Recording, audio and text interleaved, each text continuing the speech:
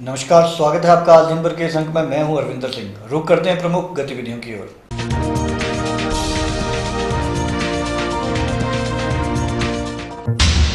पूर्व मुख्यमंत्री प्रेम कुमार धूमल ने भाजपा के राष्ट्रीय अध्यक्ष के तौर पर जगत प्रकाश नड्डा की सर्वसम्मति से हुई नियुक्ति पर की खुशी ज़ाहिर।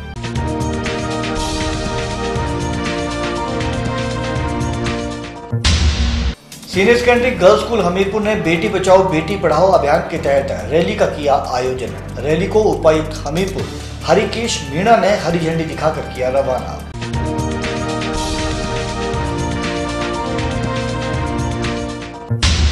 हमीरपुर जिला के बड़सरूप मंडल के तहत पड़ने वाले गाँव भेल पंचायत के बाशिंदों को आज भी सड़क सुविधा से रहना पड़ रहा है वंचित। ग्रामीणों ने उपायुक्त हमीरपुर से मिलकर कच्ची सड़क को पक्का करने की लगाई गुहार।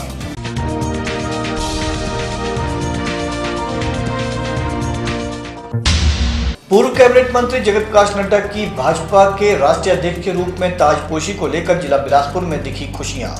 लोगों ने लड्डू बांटकर किया अपनी खुशी का इजहार।